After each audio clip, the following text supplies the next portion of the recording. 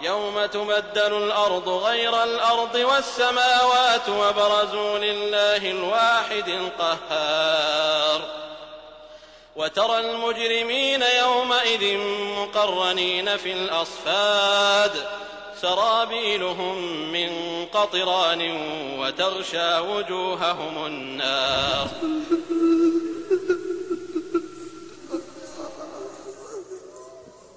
يا الله.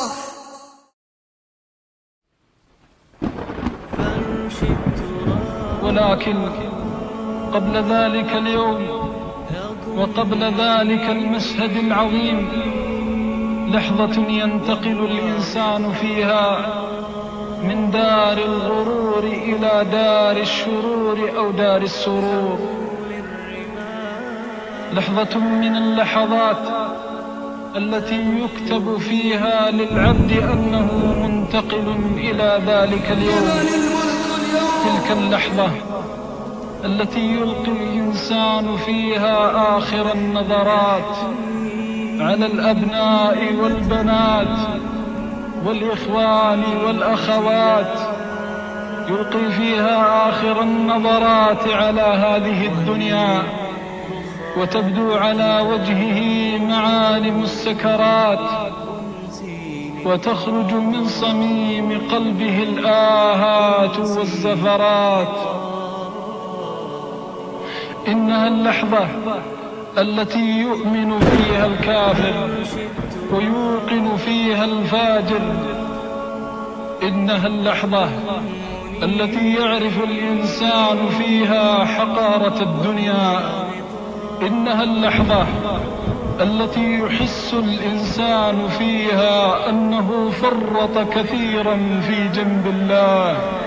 إنها اللحظة التي يحس الإنسان فيها بالحسرة والألم على كل لحظة فرط فيها في جنب الله.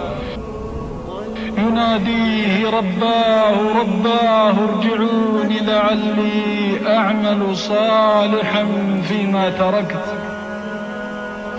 إنها اللحظة الحاسمة والساعة القاصمة التي يدنو فيها رسول الله.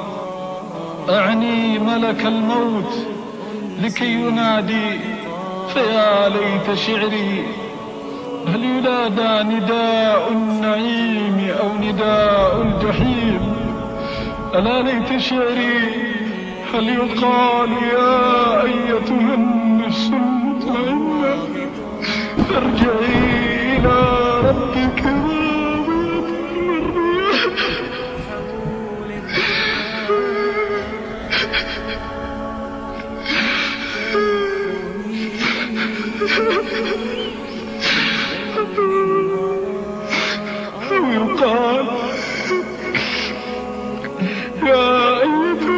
النفس الخبيثة اخرجي إلى سخط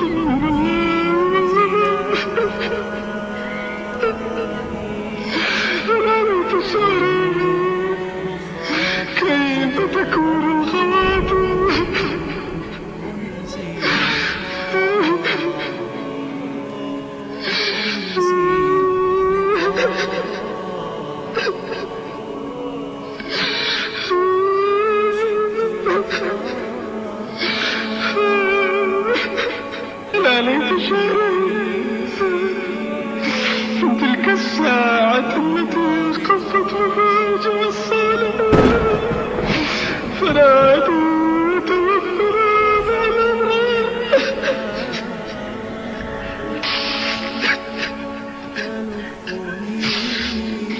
وفي لحظة واحدة أسلمت الروح إلى بيرها